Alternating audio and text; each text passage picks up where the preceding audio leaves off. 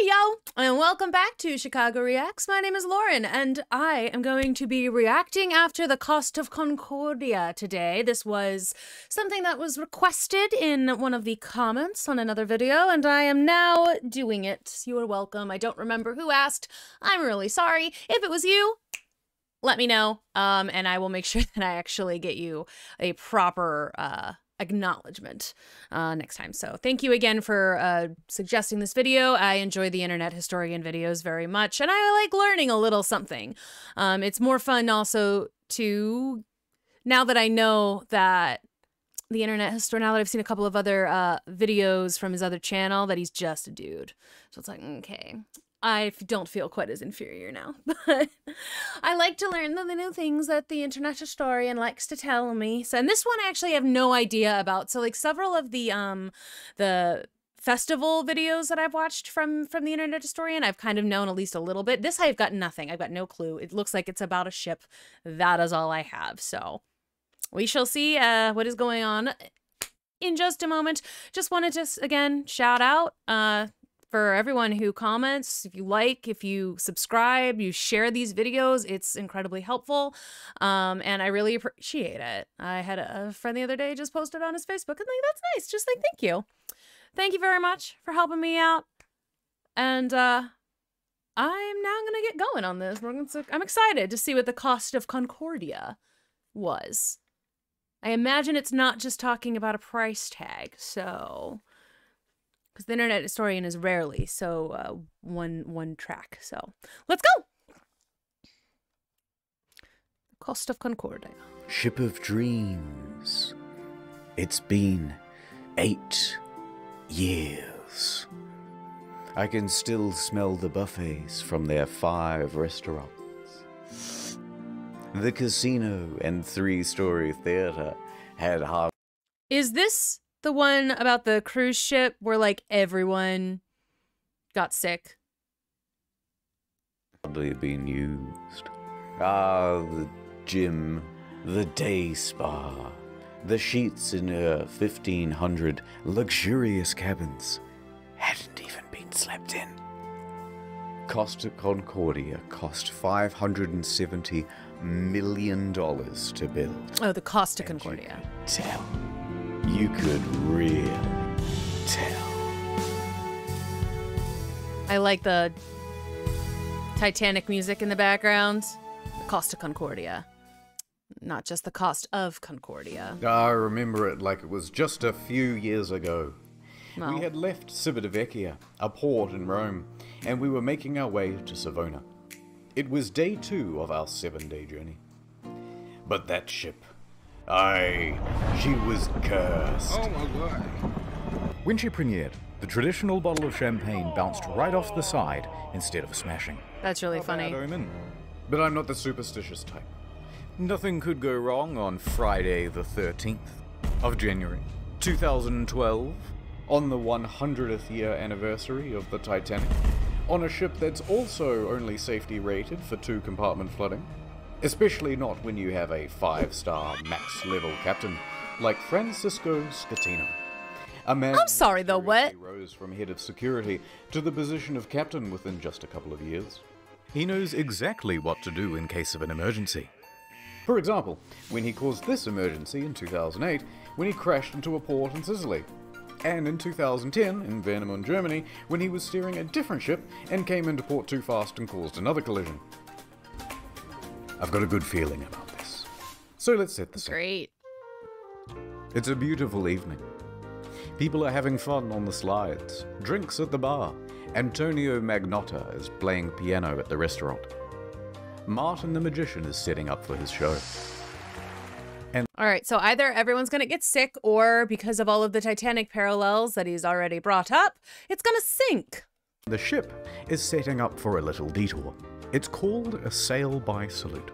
Basically, you get real close to the shore and honk the horn. The locals hate it, but the customers love it, and it's a tradition. Schettino, the captain, comes into the dining hall with the lady, Domnica Cemortan. Remember this face because you'll be seeing a lot of it later. Schettino eats his dinner with her and socializes for a little while. Then he, Dominica, and the maitre d' finish up and excuse themselves. They're heading to the bridge. It's time for that sail by salute. This time, they're going to get closer than ever. Just 1,500 feet from the island of Giglio. And how are they going to determine this distance? Well, of course, the captain is going to eyeball it. Apparently, it's not an uncommon thing to do. Scatino turns to the fella steering, his helmsman, Jacob Rusli Bin. First interesting tidbit. Costa Crociere has hired Jacob from Indonesia at a rock bottom price, and he's a bit of a newbie to the job. In fact, his profession hitherto, a painter and a cleaner. It's his first time steering a massive ship, and he's very excited. At least, Great. we think he is. It's hard to tell because he doesn't speak English or Italian very well at all. Off to a good start. The second in command orders the helmsman to 290. Now, don't be confused by these numbers, they're just the degrees on a compass. At the same time, the captain whips out his cell phone and calls former captain Mario Palombo, who lives on the island. They chat about the safe distance to Giglio's shores. It's all very casual. Anyway, Mario says that the safe distance is between 0.3 and 0.4 miles from shore. The captain is going all in. This is not his first sail by salute, Why? so he's confident in what he's doing. We're going closer than we've ever been before. The captain's eyeballing it again. Hmm. New heading of 300, he tells the helmsman. Downstairs, Martin is about to cut his assistant in half. And of course, that means that there's already a lady inside this box. She's waiting for the cue, and then she'll poke her legs out. The captain is giving more orders. Pulling gently to 310. Increase speed to 16 knots. Uh This oh. fast is going to be a fatal error. But I knew it wasn't gonna go good. Ugh. I was about to say, I bet, I bet someone's about to die, and like. Then he said fatal error. before we talk about that, let's talk about another big problem language barrier. Because at this point, the captain says 325, but the helmsman relays 315. So the first officer intervenes and he goes, No, no, no, 335, which is also wrong. And then the captain clarifies, No, 325. The helmsman confirms 325. Their poor communication has them moving at a much wider angle than they think they are. However, the captain should and would know this, except for the next problem complacency about procedure. The standard procedure of a ship this large is for the third officer to give exact positional coordinates every time the captain gives a new directional order. But they're not doing that. 330, he says. The helmsman relays 330. The ship reaches 16 knots. The captain then turns to the second officer and instructs him to go to the left wing.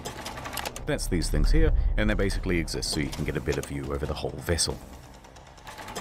A few seconds pass, and then the mood starts to turn. Schettino notices white foam of waves breaking against the rocks directly in front of him in the distance. The Costa Concordia, right now, is almost 700 meters closer to the rocks than it should be. Hmm. Without deviation, there is going to be a direct collision. Oh shit! Schettino immediately commands the ship to start turning away. 335. Not enough. The captain shouts, 340. The captain yells, 350. Now, remember how I said that accelerating to 16 knots was a fatal error? Well, that's because it's made this ship incapable of such a drastic turn. Oh God. What they've got is understeer. Here's an example. The front end is not working. You're turning, turning, turning, and you're just going straight. You want to go over here, but you're going to end up over here. So, despite the order of 350, right now the bow is still only pointing at 327. Not nearly enough to miss the rock. And oh no, it's about to get worse. That language barrier again. In these critical moments where every second counts, the helmsman wrongly relays 340. The captain snaps back 350 starboard or we end up on the rocks. The third officer goes to assist the helmsman. Now, don't get confused by the orders from here. We're changing over to rudder instructions. The captain yells, Starboard 10, starboard 20, and still it's not enough. Hard to starboard. That means as hard as it'll go. But at this point, even if they clear these rocks, they need to get the rest of the ship to swing around it. So the captain yells, midship, oh, which centers the rudder. The bow is now less than 150 meters from Skull Rock. Port Great. Oh no, I'm sorry. Uh-uh. No, no, no, no. Skull Rock. It's called Skull Rock.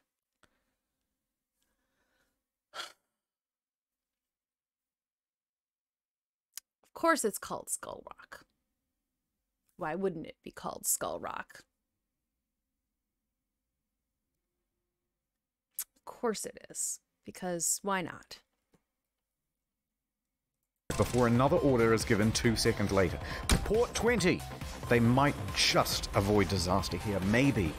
But then, oh no. One more time, the helmsman cocks up at the worst possible moment. The helmsman goes to starboard instead of port, undoing the swing. Eight seconds later, he realizes the error and corrects, but it's too late. He has just turned a probable near miss into a sure hit. All they can do now is hold on as the bow of the ship narrowly passes by the rocks. Hard to port! The second officer yells, We're gonna hit! Collision.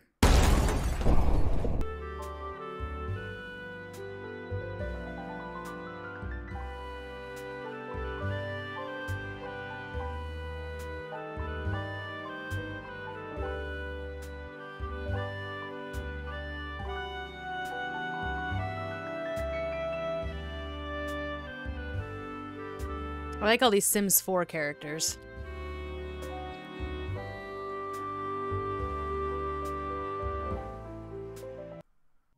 Downtown, Nordtown. All right, gave me a little bit of a, a start there when it came to the uh, advertisement. Seems I never win. Gonna drink all by yourself? Somebody has to. I hear you're a man who's good at finding folks. I'm many things. I'm looking for this fella. I got to find him. It's breaking my little heart. I'll see what I can do. I have contacts in thousands of servers in dozens of countries across the globe. And just like that, she was gone. The only thing she left was a calling card. Hmm. Hmm, my VPN doesn't seem to work so Sometimes when great. you follow a case. It doesn't let, it follows doesn't back. understand that when I say I'm in a different country, I'm in a NordVPN different can protect country. my online data. But who can protect me from myself? When they said this job gets easier, it was just another lie. Forensics found his password spread all the way down the block. In a perfect world, we'd all use NordVPN. But I guess this isn't that kind of story. I took the brakes off my car. Man like me never really learned how to stop. Shut the fuck up. I took the steering wheel out too. I let the road take me where I'm supposed to be. That's right, Toots. Your husband's dead. Oh my god. Merry Christmas. Go to nordvpn.com slash internet Oh, the noir. for a huge Noir for Nord. two-year plan. Very good. Add over. The ship hits rocks on the port side. A 53 meter gash opens up in the hull, and thousands of tons of water begin pouring in. A loud scraping and bang is heard by all passengers. At the helm, there's panic. Rumblings in the dining room. Martin awkwardly pauses his act as he's helping his assistant into the box. Meanwhile, the lady inside is trapped and terrified. There's confusion across the ship. All of the crew off shift come back on duty. All officers run to the bridge. Technical crews run down to the lower decks to assess damage. On connection with the rocks, they lose propulsion and slow to 8.3 knots. And they are now adrift.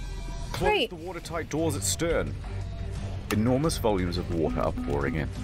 So much so that within 29 seconds of collision, all six engines stop working through flooding. 22 seconds later, a blackout happens. Lights, electrics, the water pumps too, everything. The captain orders the helmsman hard starboard. This is the final position of the rudder before power to that too is lost. The Costa Concordia, now without power, is drifting starboard, plunged into absolute darkness. Oh god. A quick breakdown of the flooding. When the Concordia struck land, it tore open three watertight compartments.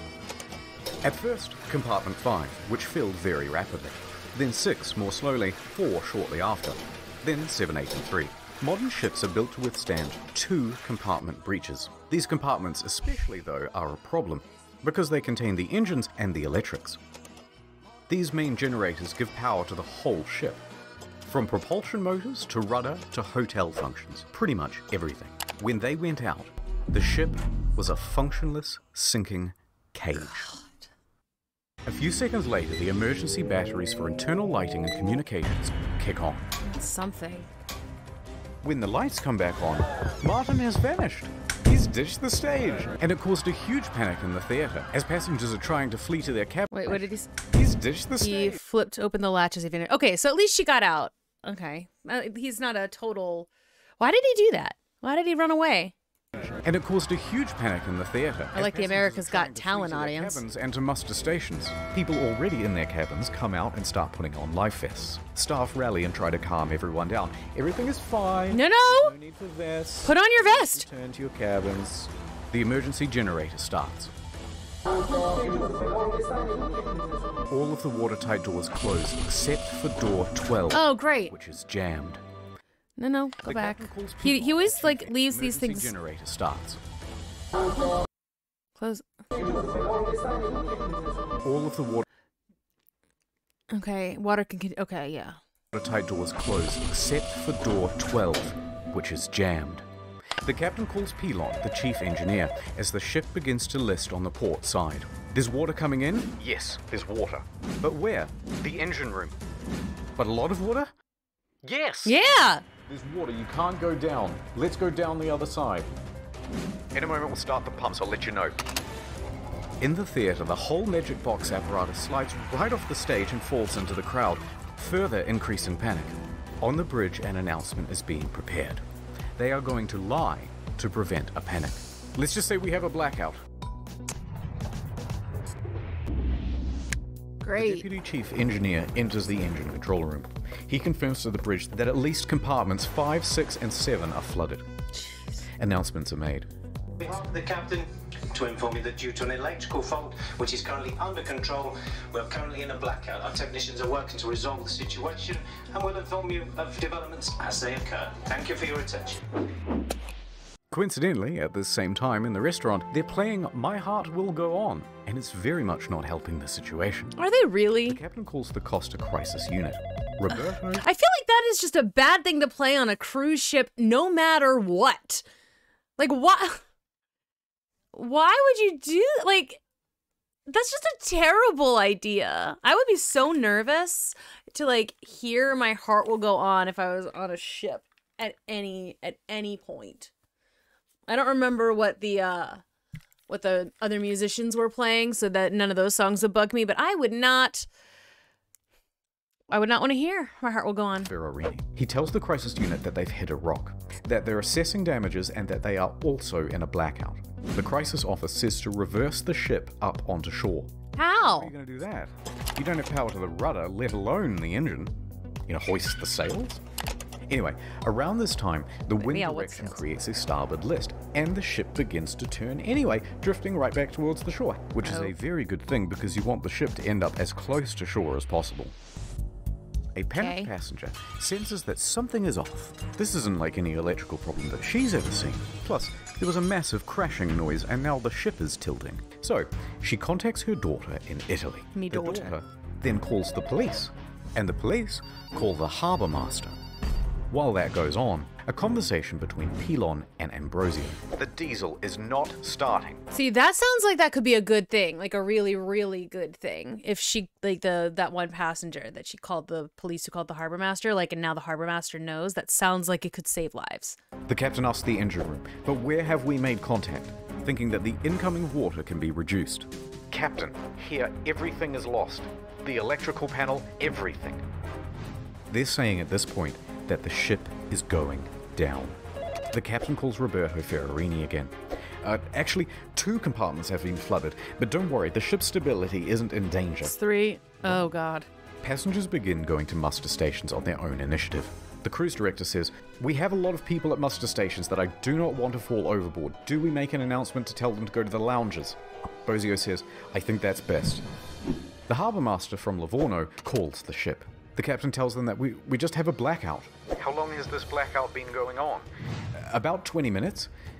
Have you asked passengers to put on life vests? It's just a blackout. I, I gotta go. The harbour master is suspicious. Yeah, He good. to his superiors that he thinks something more is going on. He calls a patrol boat to the area and asks them to look at the ship. Another problem.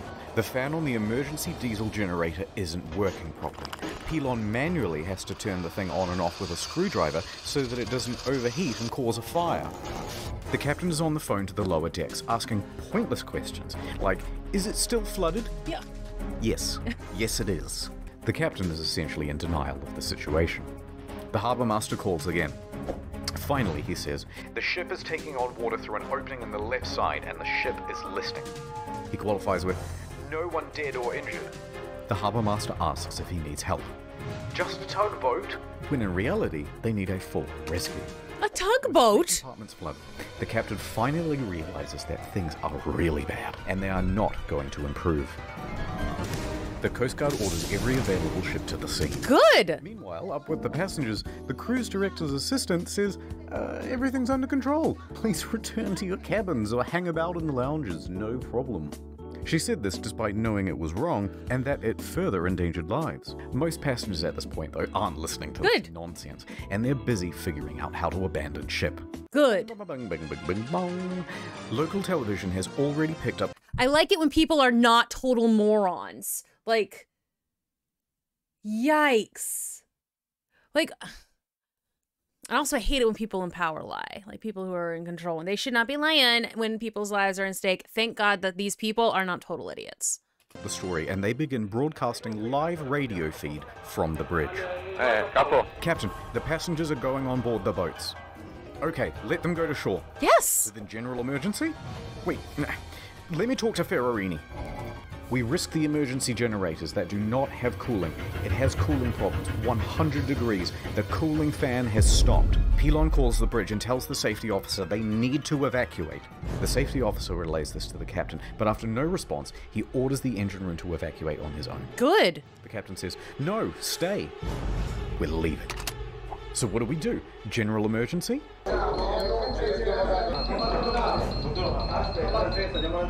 The captain tells Ferrarini that he's abandoning ship. Abandon ship! Another announcement is made. Ladies and gentlemen, your attention please. The situation is under control. Please remain calm. But at this time, proceed to your muster station. They're located outside on deck four. The Livorno Coast Guard calls again. The captain declares distress.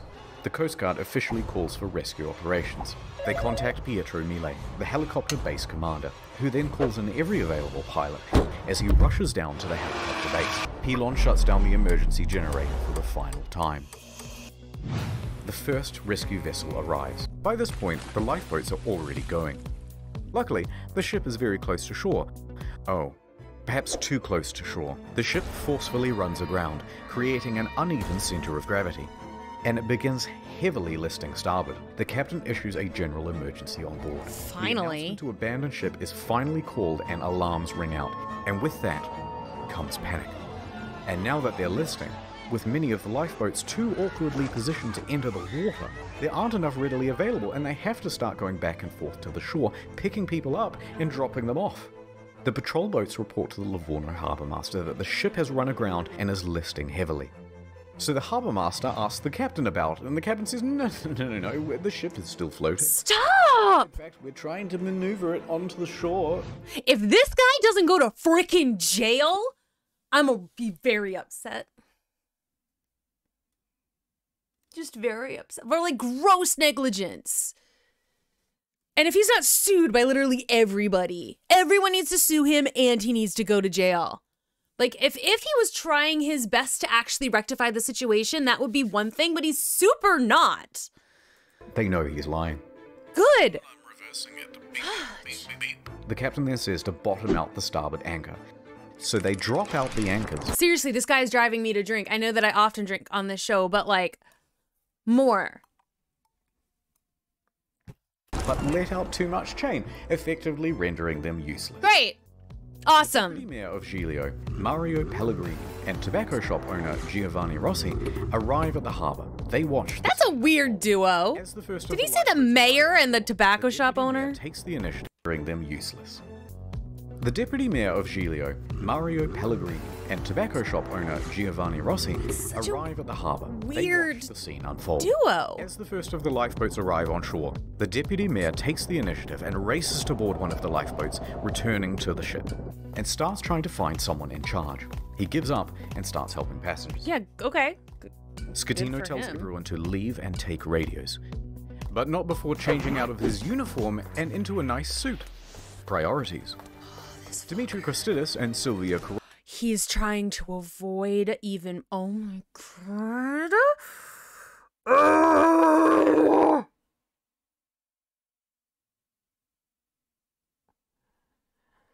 He infuriates me. Veronica leave with him.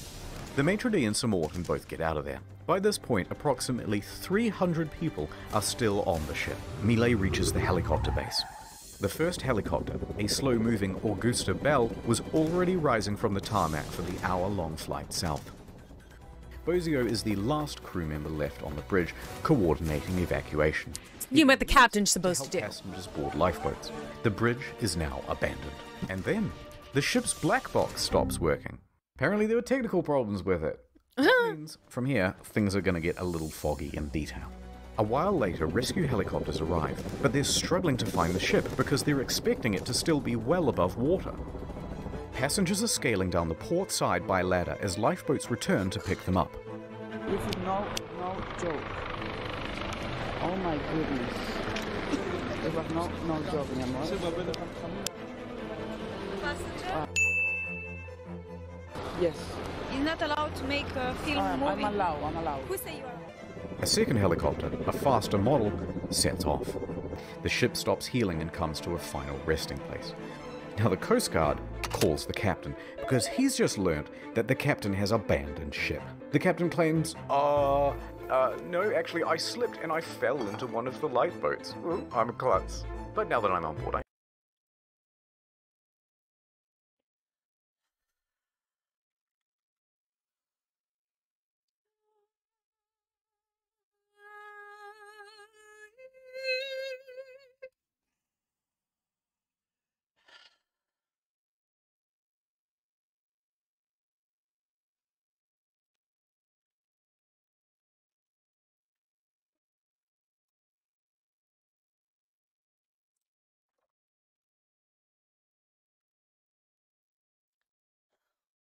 This motherfucker.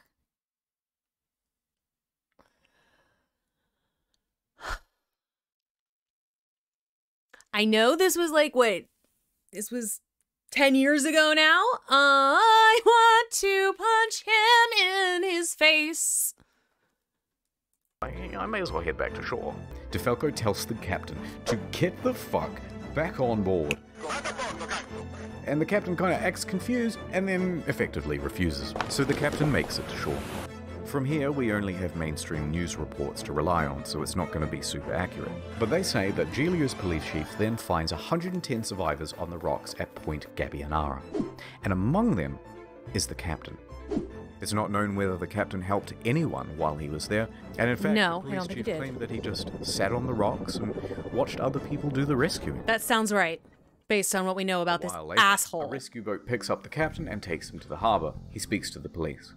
He then finds the ship's onboard chaplain, Father Rafael Molina, and cries to him for about 15 minutes. Then he goes to the harbour master's office to receive probably the biggest dressing down of his entire life. Port authorities ask Seriously? the taxi driver to take the captain back to his hotel. Ugh, The captain no. takes the 30 second cab ride to the. Bahamas hotel. According to the cabbie, he was beaten like a dog. He was cold and afraid. Good. He only asked me where he could buy a pair of fresh socks. But then he perked right up again and gave an interview to a news crew. He told them that he was the last to leave. The captain is usually the last to abandon ship. What happened, Captain? We were the last to leave the ship. All day Saturday, rescuers searched for people on the ship. On Sunday morning, a South Korean couple is found in their cabin, safe but shivering. Good, they had okay. slept through the crash and woke up unable to exit their cabin. The last survivor, Manrico Giampedroni, was found with a broken leg. He was the cabin's service director. In the end, 32 people died. Oh my god.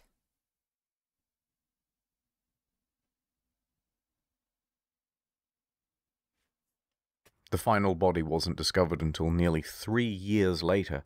A crew member, Russell Rebello, and it's believed that he died a hero, helping Oh. So for three years he was just missing. God. Helping passengers off the ship. The Costa Concordia was the largest cruise ship disaster since the Titanic. And then there's the ship. This is what happens to a 110,000 ton cruise liner when it's left half rolled over in the ocean.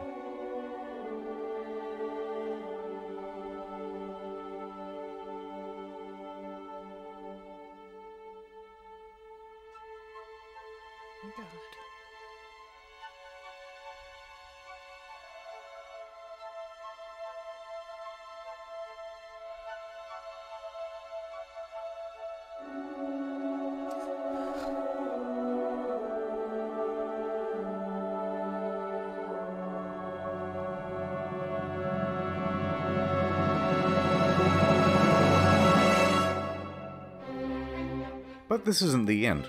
It's just the halfway point. What most people know is that the Costa Concordia had crashed, many dead, and that the captain abandoned ship like a coward. But there's a whole veritable spaghetti of details to untangle. That doesn't even look that good. Ugh! Why? Ugh! No! That's horrible. Why would you do that? Also, that is gross looking sauce, and it looks like it just came right out of a can. And like, ugh. I mean, it doesn't even stick on the noodles at all. And also, there's no. Oh, there's, ugh, that's just nasty. Okay, now I'm judging the sauce. Ew! Doesn't even look good. It's not thick enough.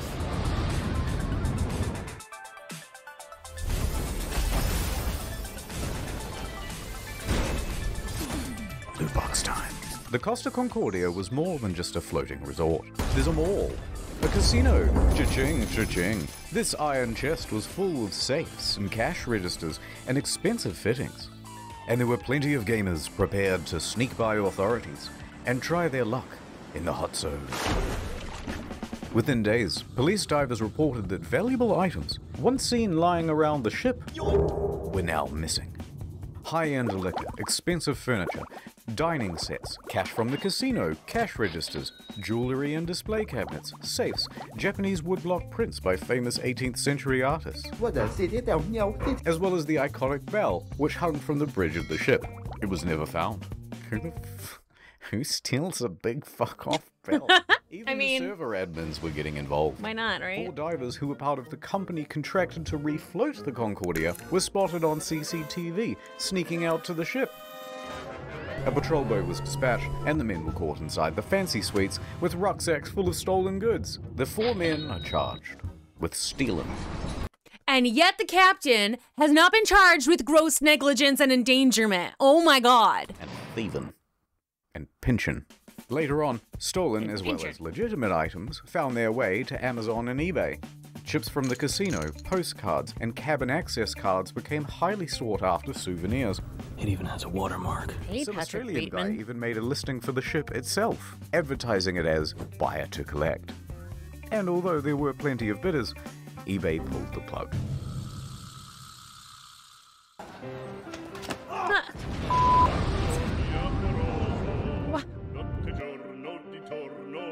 I know you want to see Schettino go to jail, and Yes. we'll get to that. But oh, first, Oh, good. we have to talk about someone else. Domnica Cemortan. That was a close one. There was speculation that she was on the bridge that evening because she was the captain's mistress. Ooh, I don't care. Hence, media speculation reports that her presence distracted the captain. They both denied their love for years and maintained that they were just friends. Although she did later admit to the media that she found him handsome. And how could you not? You so fucking precious when you smile. But she says there was no romantic link between them. Some people would like to believe, and they want to know I have something with him. It's more interesting. It's like, you know, some spicy, Spicy. in the story. Miss Cemortan also loved the spotlight, however, Uh, everyone, all up! and took several interviews. But as the pressure mounted upon her, she began making ominous threats to Schettino, saying he must confess, and that you have but one week to come clean. But things from here get weird. Spicy. Cemortan is a bit of Spicy. a wild card. In a subsequent interview, she claimed a helicopter came to the ship well before the other rescue craft to take away a package. Huh? And what was that package? Drugs, apparently. So rumors began that the ship was running narcotics for the mafia. And not without cause. A number of cruise ships, even recently, have been caught trafficking drugs. As an aside, Schettino was tested for drugs immediately after the crash. He tested negative for drugs in his system, but trace amounts of cocaine were found in a hair sample. Makes it smoother and less dry. Nonetheless, the Concordia was searched. I mean, but that could have been from, you know, days previously. Because sometimes, like, if you don't, like, char right away, right? I think, I think cocaine can stick around for a little, like, if you don't, right? I honestly don't know. uh, but I feel like that could have been from a couple days before. Like, especially if he didn't wash his hair in that, like, three days, like a day or two in advance. He didn't wash his hair. You know, it could have just been in there from, like, he been partying on shore. Still illegal. I'm not, like, saying do cocaine, but what? Like, but I'm just saying, like, it doesn't have to have it doesn't have to be from the ship. It could have been because it was day one, right? It was like this the first night of the of the trip, right? So it could have been from either earlier in that day, um, or it could have been from the day before. You know, it could have. There seems to be a lot of random speculation that is now happening. There, like, there seems to be like no real evidence that she was sleeping with him or that like her presence there was distracting him uh or that there was like now now the mafia is involved i'm like ah, i don't know about all that and no drugs were reportedly ever found. How did we get here? Oh, right, a helicopter. Cemortan commented on it again the next day and said, actually, that helicopter but they didn't evacuate via helicopter the cast no, first imagine Isolino flew in a helicopter before any of the rescue crews arrived does she expect some sort of first class I think this confusion is caused by low IQ. A glamorous lover of Costa Concordia captain claims he tried to flee the stinking ship by helicopter. They're just doing a lot of assumptions. Was just for the captain as a means of evacuation from the ship. Okay, wait. So she expected to get some sort of first class rescue while everyone else was still stuck on the ship? Wait, how did we get here? Oh, right, sex with the captain. Divers were quick to head to the captain's cabin where they found Miss Cemortan's lingerie Oh. and other articles of clothing as well as a makeup bag. Well, that's The jig was up. some kind of proof But anyway. They continued denying it. Cemortan mostly faded from international attention until she was told to appear before the court to present witness testimony. See, that was at least that's at least some kind of evidence. Again, it's still circumstantial. Like you can't prove anything with that really, but that does make it a lot more likely that they were probably boning. But it's still technically circumstantial until we get actual proof. The judge pressed her to be truthful about their relationship, or she would be held in contempt. Either tell me the truth or shut up. So finally, she admitted it. Oh, good. Yes, I had a sentimental relationship. Sentimental. It's different still. But now, stop asking about my private life. She was indeed the captain's lover. And again, so what? Like, I don't, I still don't see how that is relevant to all of the bullshit fuck ups that the captain did. That had nothing to do with her. She was sleeping with him, sure. Like, and again, like I said, I'm just wait. I was just waiting for actual proof because it seemed like there was a lot of speculation happening, and you know, sure, maybe it was even like a good leap in, uh, you know, a, a good leap to make, but it's still just you can't. Uh, it's just sensationalism to publish that before you know the truth. And now she's admitted it. But at the same time, I'm still like, how is that relevant? I don't think there's been any proof so far that his mess ups were because of her. It sounds like the first couple of mess ups were because of the language barrier between him and the helmsman. Like, it, that's not her fault. She shouldn't have been on the bridge, but like, it doesn't sound like she did anything there that was actually harmful. What is up, Trouble Alert Nation? Schettino cheated on his wife with Cemortan. I don't oh care. God. She and Schettino had been having an affair for several weeks. She also said that on the night she boarded, she didn't have a ticket. Ticket, please. And didn't need to pay because nobody questions you when you're the captain's lover. All right, I mean. Naturally, she gave another confusing interview after leaving court. I want to say that today is the second time I die because the first time I died in the night of the crash with my psychological brain and uh, problems. And today I died the second time because, of course, people find out something that I try to hide. Subsequent to the trial, she used her fame in Moldova to become a political activist, often appearing on television and radio and in articles covering protests, accompanied by pictures of her being arrested by police. She's complaining that there aren't enough bins in the area. The police are telling her to calm down and point out that the bins are right there. The crowd is standing around telling the police that she's allowed to protest and generally white knighting.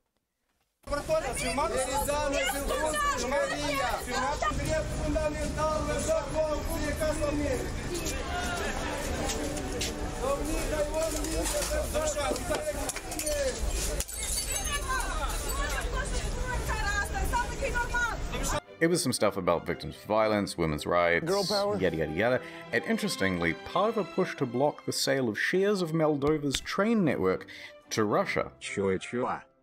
Hmm. Other than that, I don't really know what she's been up to. Let me just check on her inst. Oh God, not again. Again, don't see how her relationship with the captain is relevant. Lost. Several civil suits were quickly lodged against Costa Crociere, and their parent company, Carnival Cruises, immediately saw a share drop of 23%. Don't beat. Passengers sought compensation for their damaged mental health, lost Good. belongings, Okay, and yeah, yeah. loved ones. Mm-hmm. Either they allowed him to divert from his course, or they didn't know where their billion dollar ship was. Within a few days, facing financial and media pressure, the CEO attempted to join the bandwagon against the captain and the crew. That was not the ordinary route that the ship uh, was uh, taking uh, at the time, and, and was not only taking, but the time the, the ship was. claiming that the ship was not approved to deviate from the route. But that wasn't true. Approval isn't required if the ship is deviating by less than 15 miles, or that it was against company rules. Also untrue, because investigators found that they didn't have any rules about deviating route, and they tacitly encouraged sail by salutes. Now, in response to the civil suits, Costa Crociere offered passengers 11,000 euros each as compensation. That's kind of small. 11,000 euros, about $14,000, is the minimum compensation under international law when a ship is abandoned. Great. This was to reimburse them for their tickets, as well as any costs they accrued in having to unexpectedly travel home. Uh, yeah. What about therapy? Hmm. What about all the therapy that you're now gonna need? home early. And that was supposed to release them from everything and anything that has to do with this accident. I cannot ask for more than this. A lot of passengers, understandably, were not too happy with this deal, and they refused to take the money. Yeah. I think the offer is an insult. It is. For what these poor passengers went through, we think that the compensation being offered is not commensurate. It's not. Here, Take it. Compensation being offered is not commensurate. I don't know what that's from, but I like it. Plea deal with the Tuscany court to pay a 1 million euro fine to avoid a criminal trial. The judge agrees. Costa Crociere is now off the hook for all criminal liability for the whole thing. They've washed their hands of the incident and flecked the residual droplets of responsibility onto the faces of six staff members. Passengers and relatives of the dead are livid that the company has been able to avoid criminal responsibility. Offered is not commensurate. Civil suits against the company continue. By the way, The residents of the island of Giglio also banded together and The port was blocked to fishing boats while recovery was being done. Importing goods a lot more difficult too. They had an influx of tourists, but they were all there to see the Concordia. In the end, they didn't get much in terms of compensation. sought damages. They didn't get much. Eventually, passengers who refused the initial compensation of 11,000 joined civil parties against Schettino in his trial in 2015. Is not commensurate. They were awarded 30,000 euros each. See? Cases, Better. those involving lost relatives, are settled for undisclosed amounts.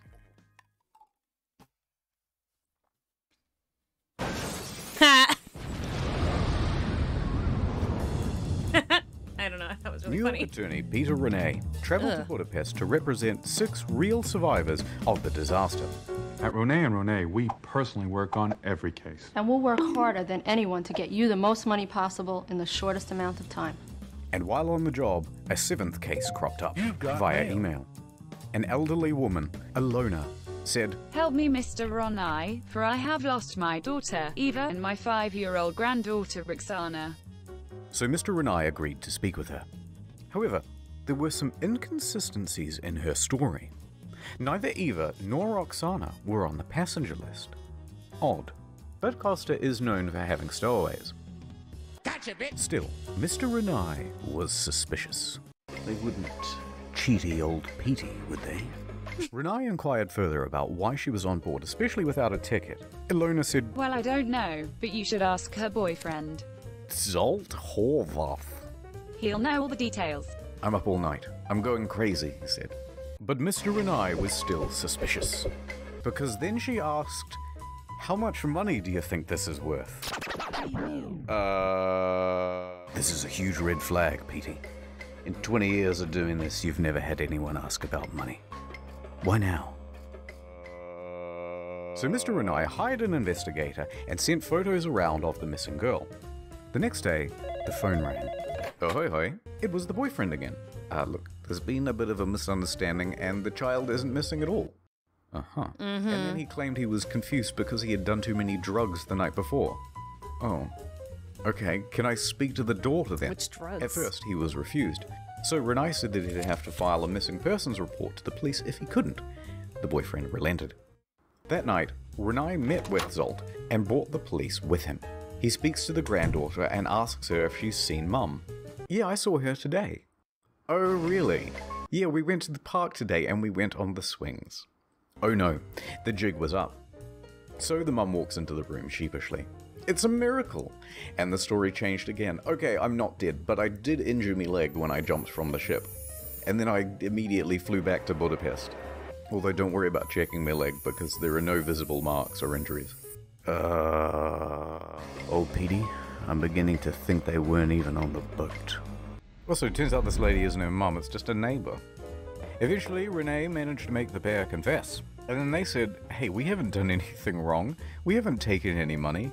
And in the end, it looks like there'll be no criminal punishment for the scam, because Hungary, a former communist country, has no laws against insurance fraud on the books.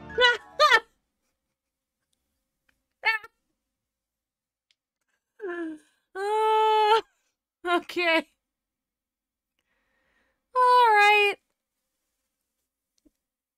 Please no sue. The law firm that never sleeps. Call 1 800 664 7. Oh, that's a bad idea. Oh, that's a very bad idea.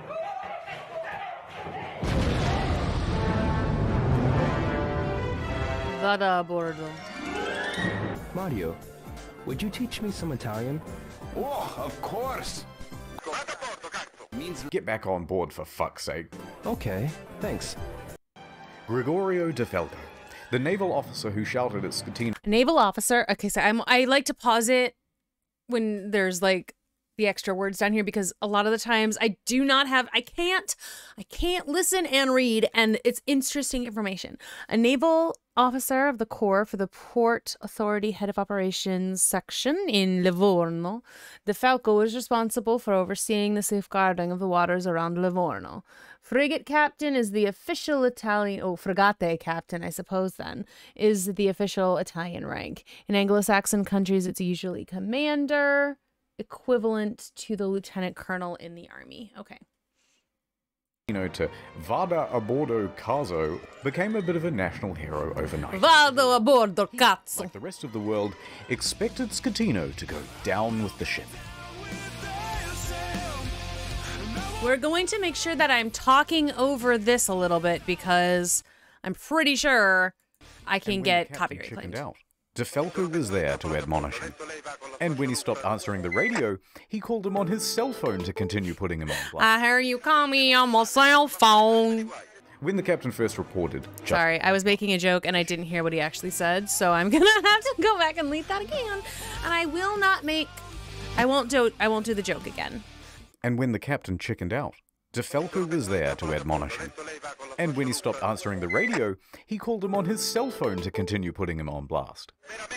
But I really will hurt you. I will cause you a boatload of trouble. he, actually said.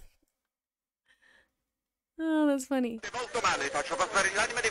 When the captain first reported I love him. just a blackout, DeFalco didn't believe the story. He doesn't look like he's ever believed anything ever. rescue effort, which likely saved several lives. His actions were applauded by most Italians who were tired of their public servants being corrupt and avoiding responsibility. Accordingly, shirts sporting Vado a bordo, Bordo cazzo. Were being printed by the end of the week, others setting it as their phone's ringtone. But then, in September 2014, without warning. DeFalco was transferred to an admin role in the Coast Guard. Hear what I said? He'd been demoted. DeFalco said that he had been passed up for promotion, that he had also not been told which admin office he was even being transferred to, Oh. and that it all effectively cancelled 10 years of his career. DeFalco was Tres Furioso, and there was public speculation that it was owing to bad blood between himself and Admiral Dell'Anna, his former boss. His status among the public overshadowed his superior. in Alana many was promoted and rep- On the other hand, his boss said, Ah, no, it's part. every year I sign 500 transfers of officers. The very normal movement's changing for us as an enrichment. If he wants to remain operative, he will be able to do it when he has a degree. Now he cannot. We don't promote. Hmm. What do you promote for then? part of a normal career progression for naval officers and that he must show more maturity and professionalism to advance his career.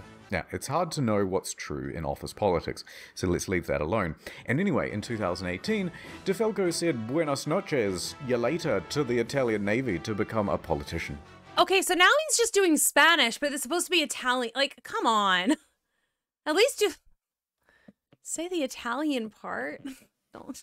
Buenos, Buenos noches is not Italian. In March that year, he was elected to the Italian Senate, serving as a member for Livorno. He still serves there today. I'm the captain now.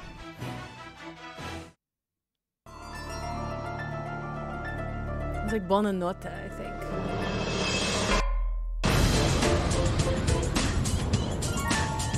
Please, please. The day after the disaster, Schettino was taken into custody by police and underwent questioning. However, it was clear that this would not be a straightforward investigation. So the judge released him under house arrest at his home in Sorrento, a town in Napoli. By July of that year, the house arrest was relaxed and he was allowed within this general area. While under house arrest, he wrote a book. Oh, with this journalist from Rai magazine. I have She no looks idea what it says, I stunned. don't speak Italian. La verità sommerse. So the truth. I don't know what sommerse means, but la verità But is the goddamn it, truth. he must have some kind of charisma going on because there's been a lot of speculation in the press that he had an affair with her as well. You can't keep getting away with it. Hold on, I got it. I got it. No, we can't. Not content with abandoning his ship, this dude is determined to abandon his wife as well. So, Schettino and five others are facing criminal charges. Straight away, everyone lodges a plea bargain with the court, and all of those plea bargains are accepted, except for Schettino. Good. And the condition of everyone's reduced sentences are that they must provide witness testimony against Schettino. He touched me. Ciro, Jacob, and Sylvia were all given suspended sentences. Roberto and Manrico are able to opt for community service or house arrest. Not a bad deal. A good deal. I do feel bad for the helmsman. Like, I mean, he was not qualified to be there, but his mistakes seemed to be genuine and like pure, like actually just mistakes. And he wasn't like, you know, he wasn't lying to anybody. He just didn't understand things occasionally. And it's like, yeah, I know he shouldn't have been in that role, but it wasn't his fault he was hired, and it wasn't his fault that he like wasn't qualified. Like that's the fault of the people who hired him. Like I, I don't know if I that's not entirely fair, I don't think. Good deal. And that meant that Schettino was now all on his own. But that's okay. The first officer was the first to give his testimony. On the witness stand, he claimed that Schettino was distracted by his mistress and other guests on the bridge. Oh That there was confusion over who was in command. Then it was Jacob's turn. And he said Lamau XD because he didn't actually bother with his testimony or his reduced sentence. He just fled the country. Oh. It took authorities 12 months to eventually track him down on the outskirts of Jakarta. Whoa, whoa, whoa, whoa. It also said something about manslaughter. What?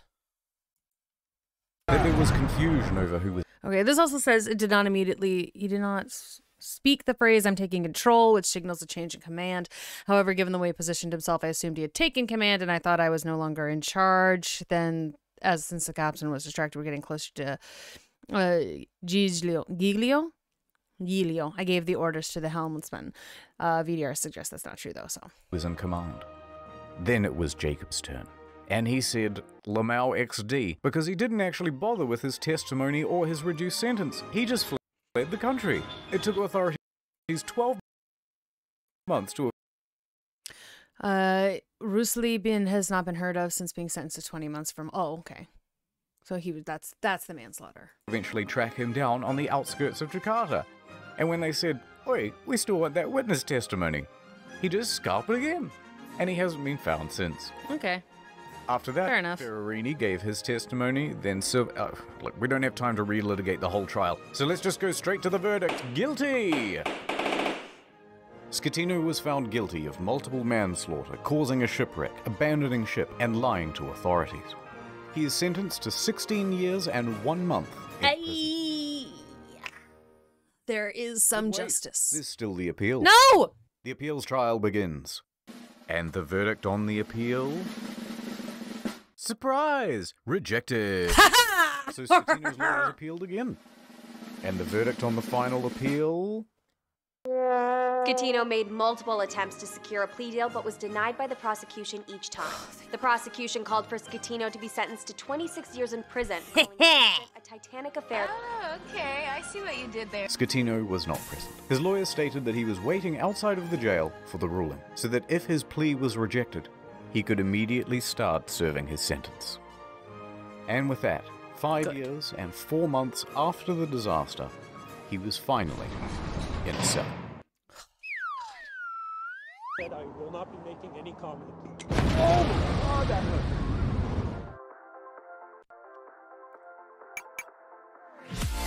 Good. I'm very glad about that. That makes me very happy.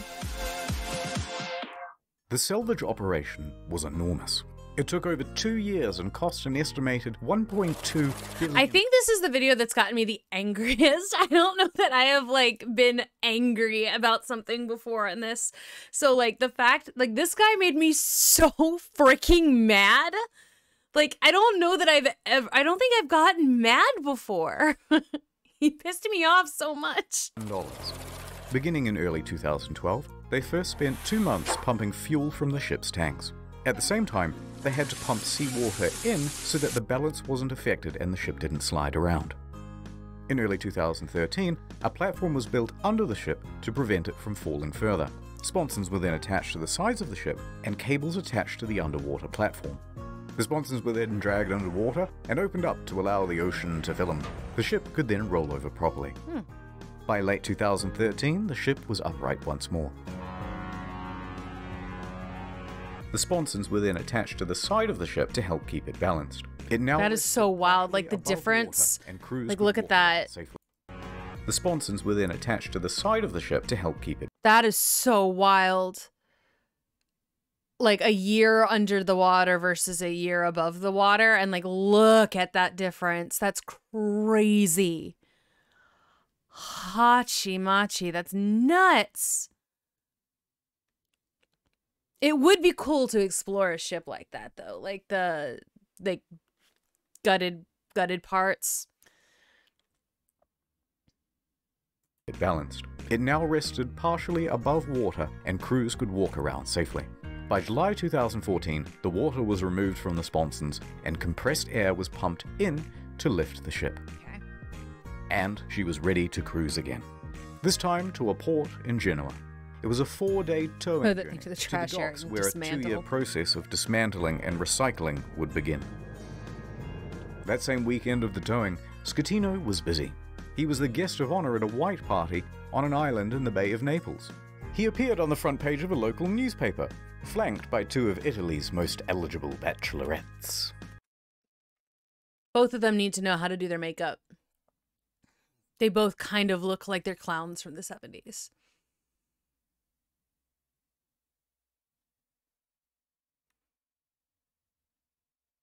So hopefully this also got him in trouble.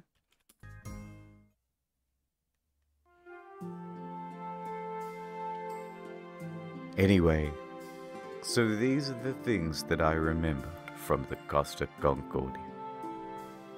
That sweet maiden of the sea. And as for you, little fella,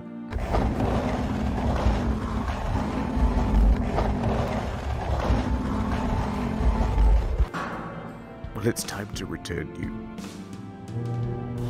from whence you came.